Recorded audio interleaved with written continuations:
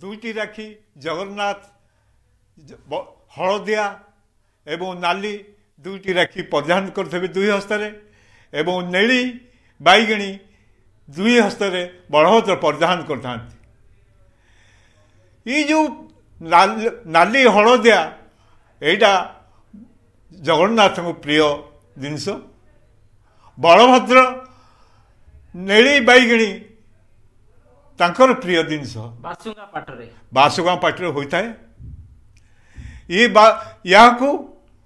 ପ୍ରଥମେ ମୁଁ ନେଇକିରି ଯିବା ପରେ ଭଣ୍ଡାରିଣୀ କପ ମୋ ହସ୍ତରୁ ନେଇଯାଆନ୍ତି ନେଇସାରିଲା ପରେ ତାକୁ ସିଙ୍ଗାରୀ ମହା ମହାଜନମାନେ ଜଗନ୍ନାଥ ବଳଭଦ୍ରଙ୍କୁ ଦୁଇ ହସ୍ତରେ ପରିଧାନ କରିଥାନ୍ତି ଏଇ ଯେଉଁ ଗୁଆମାଡ଼ ଚଉବନ ଗୁଆରେ ଗୋଟିଏ ମାଳ ହୋଇଥାଏ ଇଏ ବି ଯେଉଁ ଚାରିଟି କଲର୍ ହୋଇଥାଏ ନାଲି ନେଳି ବାଇଗିଣୀ ହଳଦିଆ ନାଲି ହଳଦିଆକୁ ଜଗନ୍ନାଥ ଦୁଇ ହସ୍ତରେ ପରିଧାନ କରିଥାନ୍ତି ନେଳି ବାଇଗିଣୀ ଗୁଆମାଳ ବଳଭଦ୍ର ଦୁଇ ହସ୍ତରେ ପରିଧାନ କରିଥାନ୍ତି ଏଇ ଗୁଆମାଳ ହେଉଛି ମହାପ୍ରଭୁଙ୍କର ବହୁତ ଶୁଭ ଜିନିଷ ପ୍ରତ୍ୟେକ ଜିନିଷରେ ଗୁଆ ଲାଗେ ତେଣୁକରି ମହାପ୍ରଭୁ ଅତି ପ୍ରିୟ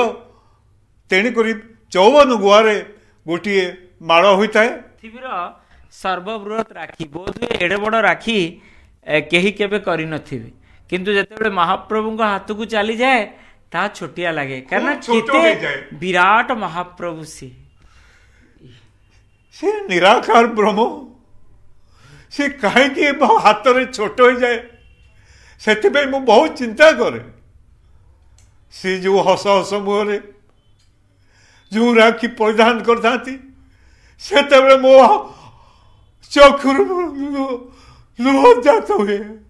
ମୁଁ ଦେଖେ ସିଏ ମୋର ଅମୃତ ମହାପ୍ରଭୁ ମୋ ଆଖିରେ ଯେଉଁ ଲୁହ ଧାର ବୋହି ଦେଉଛନ୍ତି ସେ ଅମୃତ ସେ ଅମୃତର ଧାର ତେଣୁକରି ମୁଁ ବହୁତ ଖୁସି ହୋଇକରି ମୋ ଆଖିରୁ ଲୁହ ଜାତ ହୁଏ thank you